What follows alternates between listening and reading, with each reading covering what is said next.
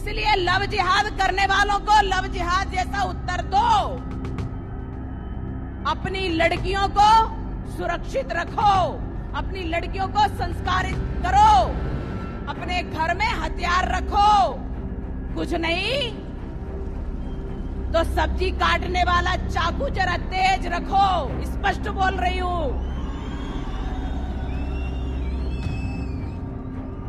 स्पष्ट बोल रही हूँ।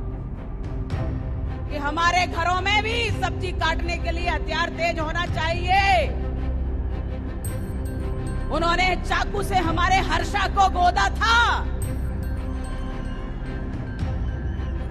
उन्होंने चाकू से हमारे वीरों को, हिंदू वीरों को, बजरंग दल के कार्यकर्ता, भाजपा के कार्यकर्ता, युवा मोर्चा के कार्यकर्ताओं को गोदा है, काटा है। तो हम भी सब्जी काटने वाले चाकुओं को जरा तेज रख लें पता नहीं कब कैसा मौका आए तो जब हम जब हमारा सब्जी अच्छे से कटेगी तो निश्चित रूप से दुश्मनों के मुंह भी और सिर भी अच्छे से कटेगी എല്ലാവർക്കും നമസ്കാരം പ്രഗ്യ സിംഗ് താക്കൂർ എന്ന് പറയുന്ന ബി ജെ പിയുടെ എം പി നമുക്കെല്ലാവർക്കും നാണക്കേടുണ്ടാക്കുന്ന നമ്മളെല്ലാവരും പേടിക്കേണ്ടതായിട്ടുള്ള ഒരു പ്രഖ്യാപനമാണ് കഴിഞ്ഞ ദിവസം നടത്തിയിരിക്കുന്നത്. മുസ്ലിങ്ങളെ വകവരുത്തുന്നതിന് വേണ്ടിയിട്ട് നിങ്ങൾ നിങ്ങളുടെ അടുക്കളയിലിരിക്കുന്ന കത്തി മൂർച്ച കൂട്ടി അവിടെ വെച്ചോളൂ. ലവ് ജിഹാദ് പോലെയുള്ള കാര്യങ്ങൾ ചെയ്തു വെക്കുന്നതിന് അതുപോലെ തന്നെയുള്ള മറുപടികളും നിങ്ങൾ കരുതി വെച്ചോളൂ എന്നാണ് അവർക്ക് കൊടുക്കുന്ന ഒരു ആഹ്വാനം എന്ന് പറയുന്നത്. അത് കേട്ടിട്ട് അവിടെ കൂടിയിരുന്ന ആളുകൾ ആർപ്പ് വിളിക്കുന്നതും കൈ കൊട്ടുന്നതും ഒക്കെ കേൾക്കുമ്പോൾ സത്യത്തിൽ നമുക്കൊരു ഭയം ആണ് ഇവിടെ ഉണ്ടായി വരുന്നത്. ഈ ഒരു വിഷയത്തെ നമ്മളിവിടെ അഭിമുഖീകരിക്കുന്ന സമയത്ത് എങ്ങനെയാണ് ഇതിനകത്ത് നമ്മൾ ചില കാര്യങ്ങൾ കാണാൻ ശ്രമിക്കേണ്ടത് എന്നത് സംബന്ധിച്ച് എന്റെ മനസ്സിലൂടെ വന്ന ഒന്ന് രണ്ട് കാര്യങ്ങൾ നിങ്ങളുമായിട്ട് പങ്കുവെക്കണമെന്നാണ് കരുതുന്നത്. നമ്മളിവിടെ എപ്പോഴും പറയാറുള്ള ഒരു കാര്യമാണ് വർഗീയ ധ്രുവീകരണം എന്ന് പറയുന്ന ഒരു വിഷയം. അതിൽ തന്നെ ഒരു ന്യൂനപക്ഷ വർഗീയതയെക്കുറിച്ച് പറയാറുണ്ട് ഒരു ഭൂരിപക്ഷ വർഗീയതയെക്കുറിച്ച് നമ്മൾ പറയാറുണ്ട്. ഇന്ത്യയിൽ ഈ പറയുന്ന ഭൂരിപക്ഷ വർഗീയത ഉടലെടുക്കുന്നതിന് വലിയ തോതിൽ സംഭാവനകൾ അല്ലെങ്കിൽ അതിന് വഴിവെച്ചത് ഈ ന്യൂനപക്ഷ വർഗീയതയാണ് എന്നും നമ്മളിവിടെ ഓർക്കാറുണ്ട്.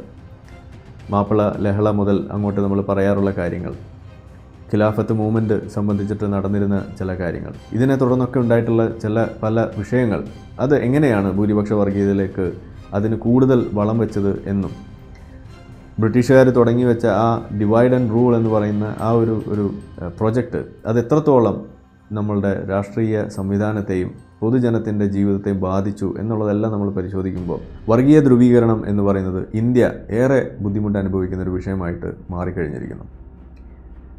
ഇതിന്റെ ഇടയിലാണ് ഇതുപോലെയുള്ള എം പിമാർ മെമ്പർ ഓഫ് പാർലമെന്റ് എന്നൊക്കെ പറയുന്ന ആളുകൾ വന്നിട്ട് ഇതുപോലെ പൊതുജനത്തിന്റെ മുന്നിൽ വന്ന് ഇത്തരത്തിലുള്ള വിടുവായുധരങ്ങൾ പറഞ്ഞു വെക്കുന്നത്.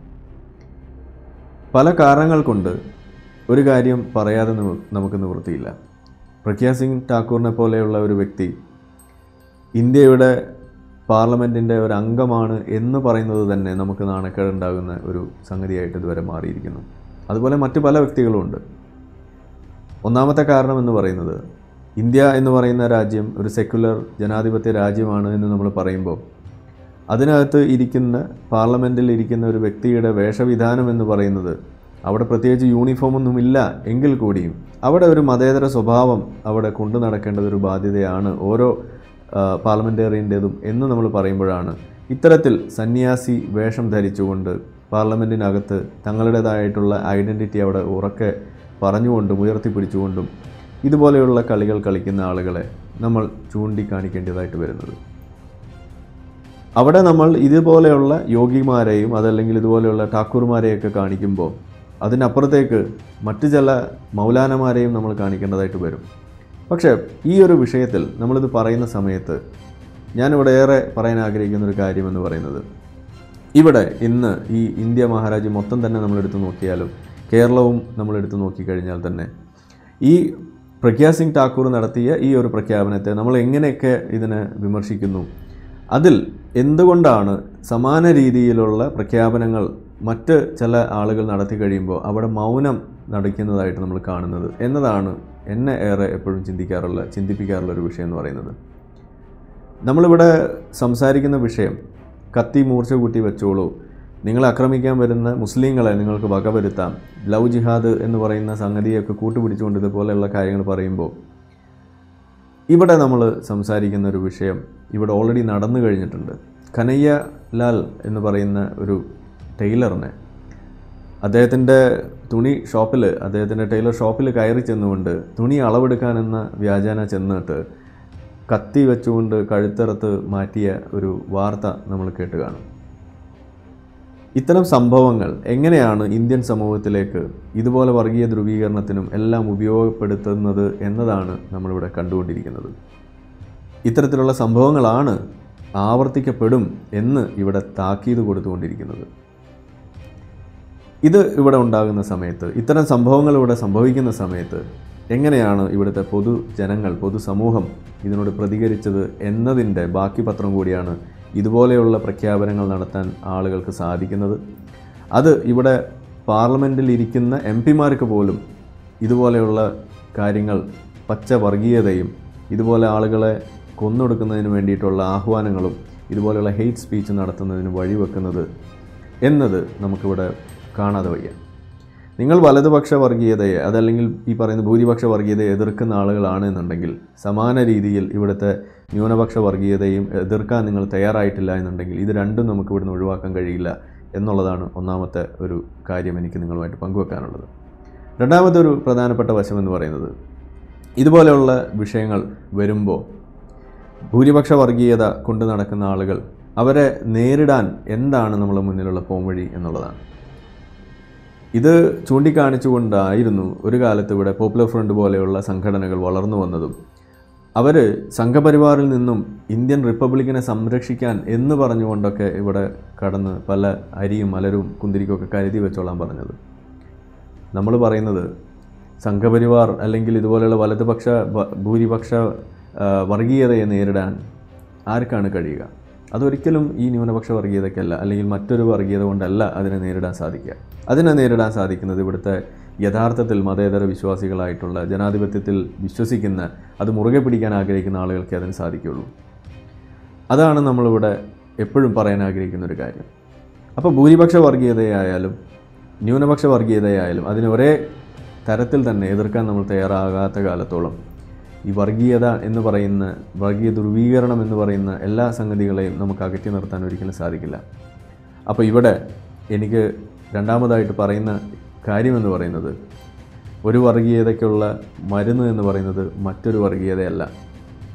ഇവിടെ ഭൂരിപക്ഷ വർഗീയത ഉയർത്തിവിടുന്ന ആളുകൾ മനസ്സിലാക്കേണ്ട ഒരു പ്രധാനപ്പെട്ട കാര്യം അതാണ്. ന്യൂനപക്ഷ വർഗീയത ഇസ്ലാം മുന്നോട്ട് വെക്കുന്ന അല്ലെങ്കിൽ മുസ്ലിങ്ങളുടെ നേതൃത്വത്തിൽ എന്നൊക്കെ പറയപ്പെടുന്ന ആ വർഗീയ ശ്രമങ്ങളും ഇതുപോലെയുള്ള മറ്റ് പല അക്രമ സംഭവങ്ങളും ഇവിടെ നടന്നുകൊണ്ടിരിക്കുന്നത്. അത് ആഗോളതലത്തിൽ തന്നെ നമ്മൾ കണ്ടുകൊണ്ടിരിക്കുന്നതാണ്. അതിനൊന്നും ഒരാൾക്കും നിഷേധിക്കാൻ കഴിയാത്ത കാര്യമാണ്. അത് നമ്മൾ സമ്മതിക്കുന്നു.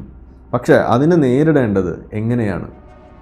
അതിൽ കുറച്ചുകൂടി ഉത്തരവാദിത്വ ബോധത്തോടുകൂടി ഇവിടുത്തെ ഭൂരിപക്ഷം എന്ന് നമ്മൾ വിളിക്കുന്ന ഹിന്ദു സമൂഹത്തിന് കുറച്ചുകൂടി അതിനകത്തൊരു ഒരു നിലകൊള്ളേണ്ട ഒരു ആവശ്യകതയുണ്ട് എന്നാണ് ഞാൻ മനസ്സിലാക്കുന്നത്. അവിടെ ഈ തരത്തിലുള്ള ഭൂരിപക്ഷ വർഗീയത ഉണ്ടാക്കി വിടുന്ന ആളുകളെ ഒറ്റപ്പെടുത്തുന്നതിന് നിങ്ങളാണ് ഏറ്റവും കൂടുതൽ മുന്നോട്ട് വരേണ്ടത്. കാരണം ഈ ധ്രുവീകരണം ഇവിടെ സംഭവിച്ചു കഴിഞ്ഞാൽ അത് കുഴപ്പത്തിലേക്ക് എത്തിക്കഴിഞ്ഞാൽ ഇതിൽ അകപ്പെടുന്നത് ആരൊക്കെ എന്ന് ചോദിച്ചു കഴിഞ്ഞാൽ അല്ലെങ്കിൽ ഇതിലെ വിക്ടിംസ് ആരായിരിക്കും ഇരകൾ ആരായിരിക്കും എന്ന് ചോദിച്ചു കഴിഞ്ഞാൽ അത് നമ്മളെല്ലാവരുമാണ് എന്നുള്ളതാണ്. അതിൽ മുസ്ലിങ്ങൾ മാത്രമായിരിക്കില്ല. ഒരു ഇന്റേർണൽ വാർ പുറപ്പെട്ട് കഴിഞ്ഞാൽ ഒരു അകത്ത് നമ്മളുടെ ഒരു ഒരു അസ്ഥിരാവസ്ഥ ഇവിടെ ഉണ്ടായിക്കഴിഞ്ഞാൽ എല്ലാവരുടെയും ജീവിതമാണ് ഇവിടെ ബുദ്ധിമുട്ടിലാവുക. ഇതാണ് നമ്മൾ ആദ്യം തിരിച്ചറിയേണ്ടത്. ഇത്തരത്തിലുള്ള വംശവെറിയും മതവെറിയും അതുപോലെയുള്ള പല തരത്തിലുള്ള വെറികൾ കൊണ്ട് നടന്നിരുന്ന യൂറോപ്യൻ രാജ്യങ്ങൾ എങ്ങനെയാണ് ഇന്നൊരു യൂറോപ്യൻ യൂണിയനായിട്ട് നിലകൊള്ളാൻ വേണ്ടി ശ്രമിക്കുന്നത്? അതങ്ങനെ നിലകൊണ്ടുകൊണ്ടിരിക്കുന്നത് എന്ന് നമ്മൾ തിരിച്ചറിയാൻ ശ്രമിച്ചാൽ തന്നെ ഇതിനൊക്കെ വലിയൊരളവിൽ പരിഹാരം നമുക്ക് സ്വയം കണ്ടെത്താൻ സാധിക്കും. ഇത് ഒരു തുടക്കമാകട്ടെ അല്ലെങ്കിൽ അതിനുള്ളൊരു വഴിയാകട്ടെ എന്നാണ് എനിക്ക് പറയാനുള്ളത്. ഇനി മൂന്നാമതൊരു കാര്യം എനിക്കിതിൽ സൂചിപ്പിക്കാനുള്ളത്. പലപ്പോഴും നമ്മൾ ഇതുപോലെയുള്ള വീഡിയോസ് ചെയ്യുന്നു. ഈ ഭൂരിപക്ഷ വർഗീയതയും ന്യൂനപക്ഷ വർഗീയതയും ഒരുപോലെ എതിർക്കണം എന്നൊക്കെ പറയുമ്പോൾ പലപ്പോഴും ഇവിടെ എന്നെയൊക്കെ വന്നിട്ട് ഉപദേശിക്കാറുള്ള കുറച്ച് സംഘപരിവാറിന്റെ പ്രവർത്തകരായിട്ടുള്ള ആളുകളുണ്ട്. അതിലേറ്റവും പ്രധാനം ആർ എസ് എസ്സുകാർ തന്നെയാണ്. അവർ വന്നിട്ട് നമ്മളോട് പറയുന്നൊരു പ്രധാനപ്പെട്ട കാര്യം എന്ന് പറയുന്നത് ആർ എസ് എസ് ഇപ്പോൾ വലിയ മാറ്റമൊക്കെ കാണിക്കുന്നുണ്ട്. പഴയ പോലെയൊന്നുമല്ല. മുസ്ലിം വിരുദ്ധതയൊന്നും ഞങ്ങൾക്കില്ല. ഞങ്ങളുടെ പുസ്തകത്തിൽ പല ആളുകളും പണ്ടൊക്കെ പലതും എഴുതി വെച്ചിട്ടുണ്ട്. മുസ്ലിമിനെയും ക്രിസ്ത്യാനിയെയും കമ്മ്യൂണിസ്റ്റുകാരെയൊക്കെ ഇവിടുന്ന് നാട്ടിൽ നിന്ന് ഓടിക്കണം. അവരാണ് നമ്മളുടെ മുഖ്യ ശത്രു എന്നൊക്കെ പണ്ട് പറഞ്ഞിരുന്നു. ഇന്ന് ഞങ്ങളതൊന്നും പറയാറില്ല എന്ന് പറയുന്ന ഒരു വാദം ആണ് ഇവിടുത്തെ സംഘപരിവാർ അതിൽ തന്നെ ആർ എസ് എസ്സുകാർ മുന്നോട്ട് വെക്കാറുള്ളത്. പക്ഷേ ഇവിടെ നമ്മൾ കണ്ടത് എന്താണ്? പ്രഗ്യാ സിംഗ് ഠാക്കൂർ എന്ന് പറയുന്ന ഈ എം പി ബി ജെ പിയുടെ എം പിയാണ് സംഘപരിവാർ പ്രവർത്തകയാണ്. അതിൽ ആർ എസ് എസ് ആണോ ബജറംഗ് ദളാണോ എന്നുള്ളത് ഇനി നിങ്ങൾ തീരുമാനിക്കുക. അങ്ങനെയാണ് എന്നുണ്ടെങ്കിൽ നിങ്ങൾ ഈ പറയുന്ന സംഘപരിവാറിന്റെ കൂടെ തന്നെയുള്ള സംഘടനയാണ് ആർ എസ് എസ് എന്നുണ്ടെങ്കിൽ നിങ്ങളാണ് ഇവരെ പറഞ്ഞ് തിരുത്തേണ്ടത്. നിങ്ങളുടെ കീഴിലാണ് ബി ജെ പി എന്ന പാർട്ടി ഇവിടെ ഉള്ളത് എന്നുണ്ടെങ്കിൽ നിങ്ങളാണ് ഇത്തരം വിഷജന്മങ്ങളെ ഈ പാർലമെന്റിൽ നിന്ന് പിടിച്ച് ചെവിക്ക് പിടിച്ച് നുള്ളി പുറത്താക്കേണ്ട ആളുകൾ എന്ന് നിങ്ങളെന്നാണ് തിരിച്ചറിയാൻ? അപ്പോൾ നിങ്ങൾ പറയുന്നതൊന്നും ചെയ്യുന്നത് ഇതുപോലെയുള്ള കാര്യങ്ങളും ആകുമ്പോൾ ഇതൊരിക്കലും ഇന്ത്യയിൽ ഒരു മാറ്റം കൊണ്ടുവരില്ല എന്ന് മാത്രമല്ല നമ്മൾ നേരത്തെ പറഞ്ഞ പോലെ ഇവിടെയുള്ള എല്ലാ ജനങ്ങളുടെയും ജീവിതം കുഴപ്പത്തിലാക്കുന്ന തരത്തിലേക്ക് നിങ്ങളുടെ കാര്യങ്ങൾ കൊണ്ടെത്തിക്കുന്ന രീതി അതാണ് ഇവിടെ നമുക്ക് കാണാൻ കഴിയുന്നത്. അതുകൊണ്ട് തന്നെ ഇവിടെ നമുക്കിതിനെ എതിർക്കുന്ന സമയത്ത് സംഘപരിവാർ എന്ന് പറയുന്ന സംഘടന ഞാൻ പേഴ്സണലി പറയുകയാണെന്നുണ്ടെങ്കിൽ ഇസ്ലാമിനെ പോലെ നമ്മൾ ഒരിക്കലും കമ്പയർ ചെയ്യുന്ന ഒരു സംഗതിയായിട്ടല്ല ഞാൻ അതിനെ കാണാറുള്ളത്. കാരണം ഇസ്ലാം എന്ന് പറയുന്നത് ദൈവികമായിട്ടുള്ള ഒരു ഒരു ആശയമാണ്. അതുകൊണ്ട് തന്നെ അതിലൊരു മാറ്റം കൊണ്ടുവരണമെന്നുണ്ടെങ്കിൽ അത് സാധിക്കില്ല. ദൈവികമായ സംഗതികൾക്ക് മാറ്റം സാധ്യമല്ല എന്ന് സ്വയം വിശ്വസിച്ച് നടക്കുന്ന ഒരു പ്രത്യയശാസ്ത്രത്തിന്റെ വക്താക്കളാണ് ഈ പറയുന്ന ഇസ്ലാമിസ്റ്റുകൾ എന്ന് വിളിക്കുന്ന ആളുകൾ. അതുകൊണ്ട് തന്നെ അവരെ ഉപദേശിച്ച് മാറ്റലോ അതല്ലെങ്കിൽ അവരെ ഇതുപോലെയുള്ള പറഞ്ഞ് ശരിയാക്കലോ ഒന്നും തന്നെ നടക്കുന്ന കാര്യമല്ല എന്നതാണ് നമുക്ക് കാണാൻ കഴിയുക. എന്നാൽ അവർ മാറും. എപ്പോഴാണെന്ന് ചോദിച്ചു കഴിഞ്ഞാൽ ഒരു സാമൂഹികമായ ഒരു പ്രഷർ ഇവിടെ ക്രിയേറ്റ് ചെയ്ത് കഴിഞ്ഞാൽ അവർക്ക് മാറാൻ സാധിക്കും. അങ്ങനെയാണ് ഇന്ത്യയിലുള്ള ഭൂരിപക്ഷ മുസ്ലിങ്ങളും സമാധാനപ്രിയരായിട്ട് ഇവിടുത്തെ നിയമങ്ങൾ അനുസരിച്ചുകൊണ്ട് ജനാധിപത്യം വേണമെന്ന് ആഗ്രഹിച്ചുകൊണ്ട് മതേതരത്വം വേണമെന്ന് ആഗ്രഹിച്ചുകൊണ്ട് ഇവിടുത്തെ ഓണവും ക്രിസ്മസും വിഷുവും എല്ലാം ആഘോഷിക്കുന്ന സാധാരണ ഇന്ത്യക്കാരായിട്ട് ജീവിക്കാൻ ഇവിടെ ശ്രമിക്കുന്നത് അതുകൊണ്ടാണ്. നമ്മളെപ്പോലെയൊക്കെയുള്ള ആളുകൾ മതം ഉപേക്ഷിച്ചിട്ട് ഈ ഇസ്ലാമിൽ നിന്ന് പുറത്തു വന്ന് അതിനെതിരെ സംസാരിക്കുന്ന ആളുകൾ പോലും ആയതിന്റെ ഒരു പ്രധാന കാരണം എന്ന് പറയുന്നത് ഇന്ത്യ എന്ന് പറയുന്ന ആശയം അത് മുന്നോട്ട് വെക്കുന്ന ഇത്തരം ആശയങ്ങളാണ്. ജനാധിപത്യവും മതേതരത്വവും അതിന്റെ മൂല്യം എത്രത്തോളം ഉണ്ടെന്ന് നമുക്ക് മനസ്സിലായതുകൊണ്ടാണ്. എന്നാൽ ഇവിടെ നിങ്ങൾ ഈ ചെയ്തു വെക്കുന്ന കാര്യങ്ങൾ സത്യത്തിൽ ഇവിടെ കുഴപ്പത്തിൽ കൂടുതൽ കൊണ്ടെത്തിക്കുന്നത് ഇതുപോലെ സമാധാനപ്രിയരായിട്ട് നീങ്ങിക്കൊണ്ടിരിക്കുന്ന മുസ്ലിങ്ങളെ പോലും ധ്രുവീകരിക്കുന്നതിനും അവർ വീണ്ടും കൂടുതൽ കുഴപ്പക്കാരായ ഇസ്ലാമിസ്റ്റുകളുടെ വലയിൽപ്പെട്ടുകൊണ്ട് ഞങ്ങൾക്ക് ഇതുപോലെ പോപ്പുലർ ഫ്രണ്ടിന്റെയൊക്കെ ആശയങ്ങൾ കൂടുതൽ തലയിൽ കയറ്റുന്നതിന് വേണ്ടിയിട്ടും ഞങ്ങൾക്ക് ഇനി ഇതിൽ നിന്നൊക്കെ രക്ഷ നേടണമെന്നുണ്ടെങ്കിൽ പോപ്പുലർ ഫ്രണ്ട് പോലെയുള്ള സംഘടനകളാണ് വേണ്ടത് എന്ന് പറയുന്നതിലേക്കും അവരെത്തിയാൽ അതിന് വഴിവെച്ചത് ആര് എന്ന് ചോദിച്ചു കഴിഞ്ഞാൽ അത് ഇവിടുത്തെ സംഘപരിവാർ തന്നെയാണ്. സംഘപരിവാർ സംഘടനകളാണ്. അതിൽ ആർ എസ് എസിന് വലിയ പങ്കുണ്ട്. ആർ എസ് എസ് തന്നെയാണ് അതിന് മുന്നിൽ നിൽക്കുന്നത്. ബി ജെ പി അതിന്റെ മുഖ്യ കാര്യവാഹകമാണ് എന്ന് നമുക്ക് പറയേണ്ടതായിട്ട് വരും. നിങ്ങൾക്കത് ഒരിക്കലും നിഷേധിക്കാനും കഴിയില്ല. അപ്പോൾ നമ്മളിവിടെ പറയുന്നത് എങ്ങനെ ഈ ധ്രുവീകരണത്തെ തടയാം എന്ന് ചോദിക്കുമ്പോൾ എപ്പോഴും പറയാറുള്ള ഒരു ഫോർമുല അതിവിടെ ആവർത്തിക്കുകയാണ്. നമ്മളുടെ മുന്നിൽ മൂന്ന് കൂട്ടം ആളുകളാണുള്ളത്. ഒന്ന് ധ്രുവീകരിക്കപ്പെട്ട ആളുകൾ രണ്ട് ധ്രുവീകരിക്കപ്പെടാത്ത ആളുകൾ മൂന്ന് ഇതിന്റെ ഇടയിൽ നിൽക്കുന്ന ധ്രുവീകരണ ശ്രമത്തിൽ പെട്ടുകൊണ്ടിരിക്കുന്ന ആളുകൾ. നമ്മൾ ലക്ഷ്യം വെക്കുന്നത് ധ്രുവീകരിക്കപ്പെട്ട ആളുകളെയല്ല ഈ ഇതുപോലെയുള്ള പ്രഗ്യാ സിംഗ് ഠാക്കൂർമാരെ പോലെയുള്ള അല്ലെങ്കിൽ ഒ ഐ സിയെ പോലെയൊക്കെയുള്ള ആളുകളെയല്ല നമ്മളിവിടെ ലക്ഷ്യം വെക്കുന്നത്. അവർ ഓൾറെഡി ധ്രുവീകരിക്കപ്പെട്ട് കഴിഞ്ഞ ആളുകളാണ്. അവരുടെ തലയിലേക്ക് കാര്യം അടിച്ചേൽപ്പിക്കുക അല്ലെങ്കിൽ അവരെ പറഞ്ഞ് മനസ്സിലാക്കാൻ ശ്രമിക്കുക എന്ന് പറയുന്നത് വലിയ സമയനഷ്ടവും ഊർജവും ചെലവഴിക്കുന്ന അല്ലെങ്കിൽ അതിനാവശ്യമുള്ളൊരു കാര്യമാണ്. എന്നാൽ നമുക്കിവിടെ ശ്രദ്ധ കൊടുക്കേണ്ടത് ഇവിടുത്തെ ഭൂരിപക്ഷം വരുന്ന ധ്രുവീകരിക്കപ്പെടാത്ത ആളുകളെയും അതുപോലെ തന്നെ ധ്രുവീകരിക്കപ്പെട്ടുകൊണ്ടിരിക്കുന്ന ആളുകളെയാണ്. അവരിലേക്ക് യഥാർത്ഥ വിവരങ്ങൾ എത്തിക്കുക. ഇതിന്റെയൊക്കെ വരുമരായികൾ പറഞ്ഞു മനസ്സിലാക്കിക്കൊണ്ട് നിങ്ങൾ ഏത് രീതിയിലാണ് നിൽക്കേണ്ടത് എന്ന് മനസ്സിലാക്കാൻ നമുക്കാണ് സാധിക്കുക. അതിൽ പ്രത്യേകിച്ച് സ്വതന്ത്ര ചിന്തകരായിട്ടുള്ള ആളുകൾക്കും അതുപോലെ യഥാർത്ഥ പുരോഗമനം അല്ലെങ്കിൽ നിഷ്പക്ഷർ അല്ലെങ്കിൽ യഥാർത്ഥ മതേതരത്വം വേണമെന്നൊക്കെ ആഗ്രഹിക്കുന്ന ആളുകൾക്കാണ് അതിന് സാധിക്കുകയുള്ളൂ. അവിടെയാണ് നമ്മളുടെയൊക്കെ റോൾ നിൽക്കുന്നത്. അതിനാണ് നമ്മൾ ഇതുപോലെ കാര്യങ്ങൾ പറയേണ്ടതായിട്ട് വരുന്നത്.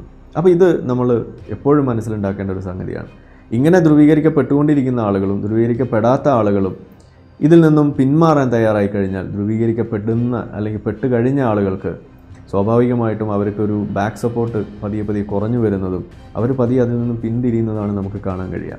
അത് ഓൾറെഡി നമ്മളെ ഈ നാട്ടിൽ നടന്നുകൊണ്ടിരിക്കുന്ന കാര്യമാണ്. അതിന്റെ വലിയ ഉദാഹരണമാണ് ആർ എസ് എസിന്റെ ഒക്കെ ഉള്ളിൽ തന്നെ സംഘപരിവാറിന്റെ ഉള്ളിൽ തന്നെ നമ്മൾ പറഞ്ഞു കേൾക്കാറുള്ള റായിത്താസും ട്രാഡുകളും എന്ന് വിളിക്കുന്ന രണ്ട് കൂട്ടം ആളുകൾ. ട്രാഡുകൾ എന്ന് പറയുന്നത് തീവ്രമായ ദേശീയതാ ചിന്ത കൊണ്ട് നടക്കുക ഹിന്ദു വിശ്വാസം തലയിൽ കൂടുതൽ കൊണ്ട് നടക്കുകയും അതിനെയൊക്കെ സംരക്ഷിക്കണമെന്ന് വിചാരിക്കുകയും തീവ്ര ദേശീയത കൊണ്ട് നടക്കുന്നതുമായിട്ടുള്ള ആളുകൾ. അതൊരു തരം ടെററിസം പോലെ തന്നെയാണ് അവരത് കൊണ്ട് നടക്കുന്നത്. അവിടെ വിട്ടുവീഴ്ചകളില്ല ചർച്ചകളില്ല. അവിടെ ഈ പറയുന്ന തരത്തിൽ ഒരു തരത്തിലും വെള്ളം ചേർക്കലിന് അവർ സമ്മതിക്കില്ല. എന്നാൽ റായിത്താസ് എന്ന് പറയുന്നത് കുറച്ചൊക്കെ വെള്ളം ചേർത്ത് അത്രയ്ക്ക് ദേശീയതയൊന്നും വേണ്ട എന്ന് പതിയെ പതിയെ മനസ്സിലാക്കി ഈ ട്രാഡുകളിൽ നിന്നും മാറിക്കൊണ്ടിരിക്കുന്ന ആളുകളെയാണ് റായ്താസ് എന്ന് വിളിക്കുന്നത്. നമ്മളുടെ പ്രധാനമന്ത്രി മോദി ഈ ട്രാഡായിരുന്നു ഒരു കാലത്ത്. എന്നാൽ ഇന്ന് അദ്ദേഹം റായിത്തയായിട്ടാണ് അറിയപ്പെടുന്നത്. അത് അതുകൊണ്ട് തന്നെ ട്രാഡുകളായിട്ടുള്ള ആളുകൾ മോദിയെ വിളിക്കുന്നത് മൗലാന മോദി എന്ന ഒരു നിലയിലേക്ക് വരെ എത്തിയിരിക്കുന്നു അപ്പോൾ ഇതാണ് നമ്മൾ പറയുന്ന ആ സോഷ്യൽ പ്രഷർ എന്ന് പറയുന്നത്. ഇതാണ് നമ്മൾ ആ പറയുന്ന ധ്രുവീകരണ ശ്രമത്തിൽ നിന്ന് പുറത്ത് കൂടുതൽ ആളുകൾ പുറത്തേക്ക് പോകുമ്പോൾ ധ്രുവീകരിക്കപ്പെട്ട ആളുകൾക്ക് അവർ കൊണ്ടു നടന്നിരുന്ന തീവ്ര സ്വഭാവങ്ങൾ അത് അവരിൽ നിന്നും പതിയെ പതിയെ ഊരിയെടുക്കാൻ കഴിയും അവരിൽ നിന്നും ഒഴിഞ്ഞു പോകുമെന്ന് പറയുന്നത് അതുകൊണ്ടാണ് അതുകൊണ്ടാണ് മുൻകാലങ്ങളിൽ വലിയ വർഗീയ ചൊവ്വയുള്ള പ്രസംഗങ്ങൾ നടത്തിയിരുന്ന പല ആളുകളും പിൽക്കാലത്ത് അതിൽ നിന്നൊക്കെ മാറി പച്ച പൂച്ചകളെ പോലെ നടക്കുന്നതായിട്ടൊക്കെ നമ്മൾ തന്നെ പറയാറുണ്ട്. അതിന്റെയൊക്കെ കാരണമെന്ന് പറയുന്നത് ഈ ബാക്ക് സപ്പോർട്ട് കുറയുന്നതാണ്. അപ്പോൾ ഇത് സംഭവിക്കും. മനുഷ്യനെന്ന് പറയുന്നത് പരിവർത്തനം ചെയ്യപ്പെടാൻ എല്ലാ സാധ്യതകളുള്ള ഒരു തലച്ചോറും കൊണ്ട് നടക്കുന്ന ആളുകളാണ്. കാരണം അവരുടെ ഉള്ളിലേക്ക് കിട്ടുന്ന ഇൻഫർമേഷൻ അവരുടെ ചുറ്റിനും നടക്കുന്ന സംഭവ വികാസങ്ങൾ അവരുടെ ചുറ്റുമുള്ള ആളുകളുടെ ചിന്താഗതി ഇതെല്ലാം നമ്മൾ ഇൻഫ്ലുവൻസ് ചെയ്യുന്ന കാര്യമാണ്. അപ്പോൾ നമുക്ക് ചെയ്യാവുന്നത് ഈ പുറത്തുള്ള ഇത്തരം എൻവിയോൺമെന്റ് വളരെ കൃത്യമായിട്ട് ക്രിയേറ്റ് ചെയ്യാൻ സാധിച്ചാൽ അതിനെയാണ് നമ്മൾ ഈ പറയുന്ന സോഷ്യൽ പ്രഷർ എന്ന് പറയുന്നത് എന്നുണ്ടെങ്കിൽ അത് വളരെ കൃത്യമായത് നമ്മളിവിടെ ഉണ്ടാക്കുക എന്നുള്ളതാണ് നമ്മളുടെ ഏറ്റവും വലിയ കർത്തവ്യം. അപ്പോൾ ഇവിടെ ഒന്ന് രണ്ട് കാര്യങ്ങൾ നമ്മൾ പ്രധാനമായിട്ട് ശ്രദ്ധിക്കേണ്ടത്. ഇവിടെ ഭൂരിപക്ഷ വർഗീയത ഇതുപോലെയുള്ള ആളുകളെ ചൂണ്ടിക്കാണിക്കുന്നതിനും അതിനെ എതിർക്കുന്നതിനും ഇവിടുത്തെ ഭൂരിപക്ഷം വരുന്ന ഇവിടുത്തെ ഹിന്ദു ജനത തന്നെയാണ് ഇതിൽ ഏറ്റവും കൂടുതൽ മുന്നോട്ട് വരേണ്ടത് ഒന്നാമതായിട്ട്. രണ്ടാമതായിട്ട് ഇതുപോലെയുള്ള ആളുകൾ ഇത് ബി ജെ പിയുടെ അകത്തു നിന്ന് തന്നെ ഇത്തരത്തിലുള്ള ശ്രമങ്ങൾ കാണുമ്പോൾ അവരെ മാറ്റി നിർത്തുന്നതിനും എം പി സ്ഥാനത്ത് നിന്ന് തന്നെ മാറ്റുന്നതിനെല്ലാം ഏതുപോലെ നുപൂർ ശർമ്മ വിഷയത്തിൽ എങ്ങനെയാണോ അവരെ താക്കീത് ചെയ്ത് അവരെ അതിൽ നിന്ന് പിന്തിരിപ്പിച്ചത് അവരെ അതിൽ നിന്ന് വിലക്കിയത് അത്തരത്തിലുള്ള നടപടികളാണ് സത്യത്തിൽ ഈ പ്രഗ്യാ സിംഗ് ഠാക്കൂറിന് നേരെയൊക്കെ ഉണ്ടാകേണ്ടത്. പക്ഷേ നിർഭാഗ്യവശാൽ നമുക്ക് കാണാൻ കഴിയുന്നില്ല. അതുകൊണ്ട് തന്നെയാണ് ഇത് വലിയൊരു നാണക്കേടാണ്. ഈ ഇന്ത്യ എന്ന് പറയുന്ന രാജ്യത്തിന് തന്നെ ലോകത്തിന് മുന്നേ തന്നെ മുന്നിൽ തന്നെ നമുക്ക് തല കുനിക്കേണ്ടി വരുന്നൊരവസ്ഥയായിട്ട് മാറുന്നത്. ഇതെപ്പോഴാണ് നമ്മളുടെ ഭരണാധികാരികൾക്ക് മനസ്സിലാവുക? അതുപോലെ മൂന്നാമതായിട്ട് പറയാനുള്ളത് ഇതിൽ നിഷ്പക്ഷരായിട്ട് നിൽക്കേണ്ട ആളുകൾ. ബി ജെ പിക്കാർ ഇങ്ങനെ പറഞ്ഞു അല്ലെങ്കിൽ ഇതുപോലെ പ്രഗ്യാ സിംഗ് ഠാക്കൂർ ഇങ്ങനെ പറഞ്ഞു അതുകൊണ്ട് നമുക്ക് സംരക്ഷിക്കാൻ വേണ്ടി മുസ്ലിങ്ങളുടെ കൂടെ കൂടാം എന്ന് പറഞ്ഞുകൊണ്ട് നിങ്ങൾ അവരുടെ കൂടെ കൂടിയാൽ ഇത് കൂടുതൽ വഷളാവുകയാണ് ചെയ്യുക. അപ്പോൾ അതുകൊണ്ട് ഇവിടെ ചെയ്യേണ്ടത് ഒരു വർഗീയതയ്ക്കുള്ള മരുന്ന് മറുവർഗീയതയല്ല എന്ന് പറയേണ്ട സമയമാണിത്. അതോടൊപ്പം തന്നെ യഥാർത്ഥ മതേതര ചിന്തകളും അതുപോലെയുള്ള വർഗീയതയെ മാറ്റി നിർത്താൻ വേണ്ടിയിട്ടുള്ള പണികളിലുമാണ് നമ്മൾ ഏർപ്പെടേണ്ടത്. യഥാർത്ഥ നിഷ്പക്ഷരായിട്ട് നിലകൊള്ളാൻ ഇവിടെയാണ് നമുക്ക് സാധിക്കേണ്ടത് എന്നതാണ് ഇവിടെ അവസാനമായിട്ട് ഓർമ്മിപ്പിക്കാനുള്ളത്. ഇത്തരം കാര്യങ്ങളാണ് നിങ്ങളുമായിട്ട് പങ്കുവെക്കണമെന്ന് ആഗ്രഹിച്ചത്. ഏതായാലും വളരെ ബുദ്ധിമുട്ടുണ്ടാക്കുന്ന നമ്മളൊക്കെ എടുത്തുകൊണ്ടിരിക്കുന്ന പണി അത് വെള്ളത്തിലാവുന്ന തരത്തിലുള്ള ഒരു പ്രഖ്യാപനമാണ് സത്യത്തിൽ ഇവിടെ പ്രഗ്യാ സിംഗ് ഠാക്കൂർ നടത്തി വച്ചിരിക്കുന്നത്. ഇത് തിരിച്ചറിയാൻ നമുക്ക് സാധിക്കണം. ഇതിൽ ഏത് തരത്തിൽ നിലകൊള്ളാൻ സാധിക്കും എന്ന് നമ്മൾ മനസ്സിലാക്കണം. അങ്ങനെയാണെങ്കിൽ മാത്രമാണ് ഇത് ആവർത്തിക്കാതിരിക്കാനും ഇനി ഇത് ആവർത്തിക്കപ്പെട്ടാൽ തന്നെ അതിൽ നമ്മൾ വീണു പോകാതെ ധ്രുവീകരണ ശ്രമത്തിൽ പെട്ടുപോകാതെ കൂടുതൽ ആളുകളെ ഇതിൽ നിന്ന് പിന്തിരിപ്പിക്കാനൊക്കെ നമുക്ക് സാധിക്കുകയുള്ളൂ എന്നും മാത്രം ഒന്ന് ഓർമ്മിപ്പിച്ചുകൊണ്ട് തൽക്കാലം ഇവിടെ നിർത്തുന്നു. നന്ദി.